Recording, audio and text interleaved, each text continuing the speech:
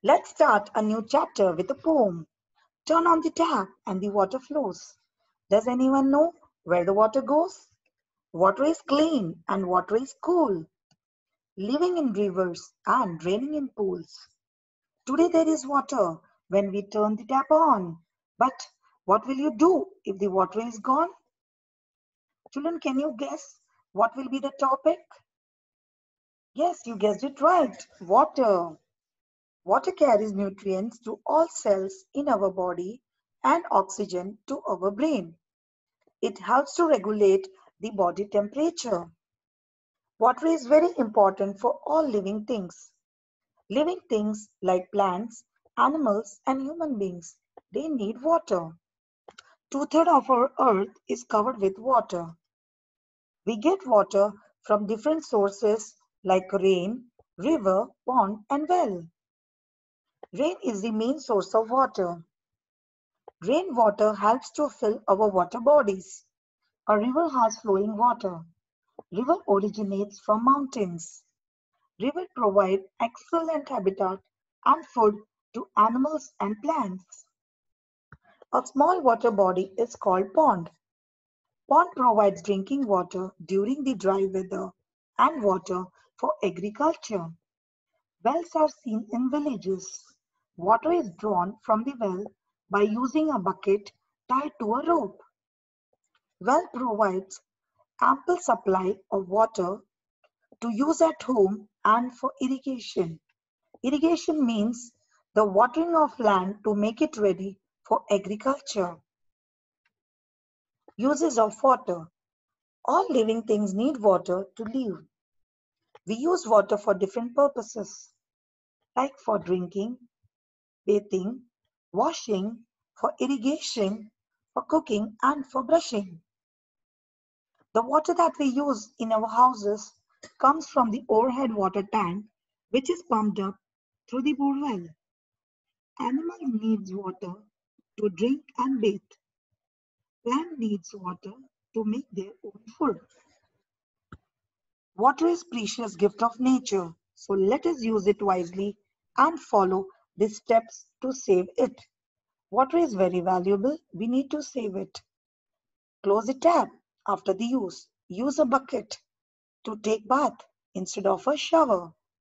Do not waste a single drop of water.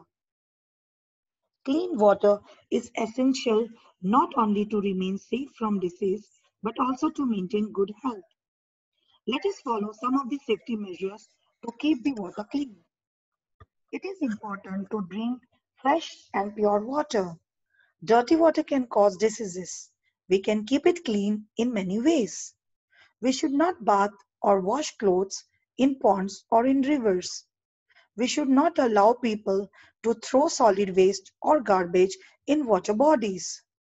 We should educate people about the importance of clean water. We should keep water containers covered. Water should be purified before drinking. The water we get from the different sources is not pure to drink as it contains lots of impurities which results into different waterborne diseases. Ways to purify water. Water is purified at a treatment plant and then sent to our homes through pipes. The raw water is supplied to the water treatment plant where the first five treatment filtration processes start to make the water safe to drink. At home, water can be cleaned by RO plant, by boiling, or by filtration. Properties of water. Water has no shape or size. It is colorless, odorless, and tasteless. It means water does not have a particular color, smell, or taste. Water has three forms, solid form, liquid form, and gaseous form. Solid form, when we place a tray of water in the freezer, the water changes into ice. Ice is the solid form of water. Liquid form, when ice melts, it changes into water, which is the liquid form of water. It takes the shape of the container in which it is kept. Gaseous form. On boiling water, it changes into steam or water vapor. This steam rises into the air in the form of gas. Let us revise. We get water from different sources. The main source of water is rain. We use water to drink, to wash, and to water the plant. All living things need water to survive. Water is very valuable. We need to save it. It is important to drink fresh and pure water. Water should be purified before drinking. At home, water can be cleaned by RO plant or by boiling or through the filtration. Water is colorless, odorless and tasteless. Hope you enjoyed today's session. Goodbye children.